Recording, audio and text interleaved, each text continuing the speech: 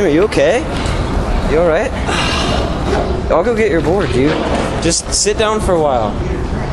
Oh, damn.